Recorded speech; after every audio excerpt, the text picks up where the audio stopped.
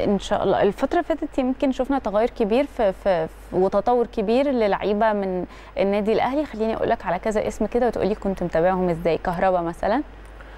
كهربا يعني كان الريتم بتاعه بدأ يعلى بس طبعا موضوع الإيقاف هو اللي وقف بس بعد الإيقاف بقى. بعد الإيقاف الريتم بيعلى واحدة واحدة. صح. وطبعا عايز أقول يعني إن زي ما قلت برضو إن كل ما بتدي اللاعب نسبة مشاركة أعلى. اللعيب بيقدر ياخد المساحة وياخد الحرية وياخد حرية الإبداع إن هو يطلع كل المهارات اللي عنده وكل الفكر اللي اللي عنده بيعلى معاه. يعني كهربا الفترة اللي فاتت ناقصه بس حاجة بسيطة إنه التهديف بتاعه في الفرص اللي هي بتضيع هي اللي إيه؟ تخليه يظهر. مع إن في أهداف بيجيب أهداف وكل حاجة بس. في حاجة اللي هو إيه؟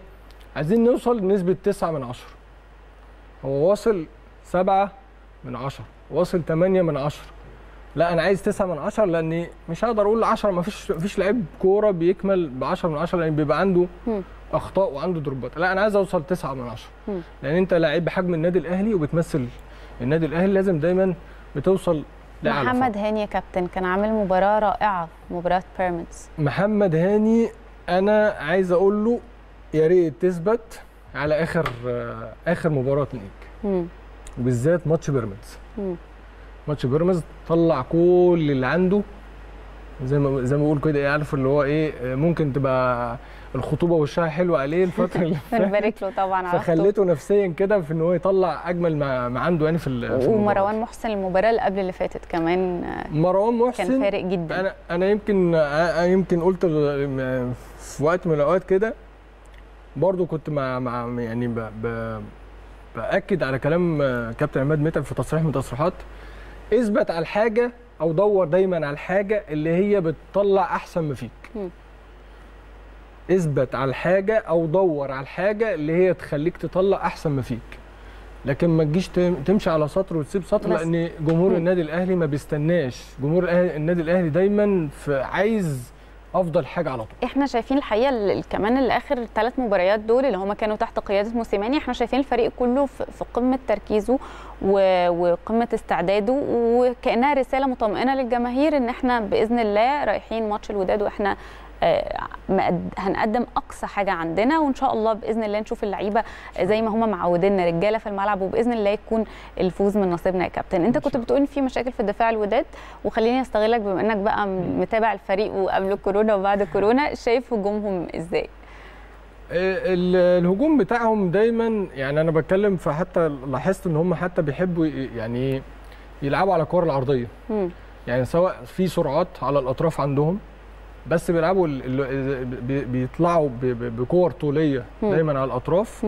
أو الباكات بتاعتهم. يلعبوا كورة على الباكات ما بيلعبوش في نص الملعب كتير ما آه. بيحضروش كتير في نص الملعب مش عايز أقول إن هو ممكن يكون ال quality بتاعتهم جوه أو في نص الملعب مش مش عالية قوي أو ممكن يكون تكتيك آه، مدير فني إن هو دايما بيبقى على الأطراف يعني ال back بيلعب مع ال half بتاعه بس كور آه، طويلة ويستغل سرعاته مع ان مش مش شايف السرعات ال- المميزة بس بي- بيلعب على النقطة دي. بيلعب على نقطة برضه إن هو يلعب في عمق ال- ال- المدا- المدافعين بتوع ال- الخصم دايما وبيلعب على الأخطاء بتاعه المدافعين دايما. يعني مثلا ممكن يحط أي forward آه، أنا ما مش يعني مش متذكر الأسامي عشان ما أقولش أسامي غلط. بيلعب على النقطة دي إن هو يلعب في قلب ال ال ال الاثنين المدافعين يحط معاه forward ممكن يعمل كرة مشتركة يحصل أخطاء من من المدافع أو الكره يحصل تخبيط فيجي ال- ال- ال forward الوهمي أو اللي بيلعب بيه من من تحت يجي ويكمل على الجول دي حاجة الحاجة الثانية دايما زي ما بقول لك كده ال back سواء ال back اليمين أو ال back الشمال بيلعب دايما على على ال half بتاعه مم. وبرضه بيستحوذ على الكورة بأي شكل كان ويبدأ يعمل كور عرضية وبيدوروا دايما أغلب أوقات المباراة بيدوروا إن هم ياخدوا فاولات كتير. في الثلث الأخير. هم دايما بيدوروا على النقطة دي أو بيدوروا إن أنت لو هو بيلعب ضغط عالي كمان بيدور إن هو يخ... يخلي المدافع يغلط إن هو ياخد ضربة حرة مباشرة مم. أو آه، دايما يبقى بيدور على اللي هي الكورنر مثلا أو الفاولات الجانبية اللي بتبقى فيها خطورة بعرض الملعب